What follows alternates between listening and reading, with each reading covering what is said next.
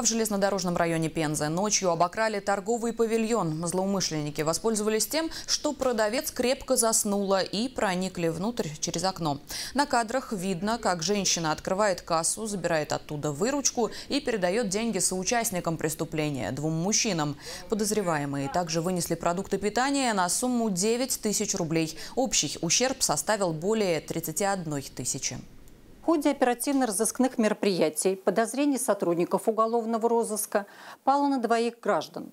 Ими оказались ведущий бродяжнический образ жизни мужчина 1977 года рождения и безработная женщина 1981 года рождения.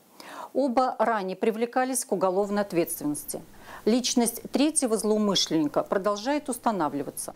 По факту кражи возбуждено уголовное дело. Каждый из злоумышленников может лишиться свободы на срок до пяти лет.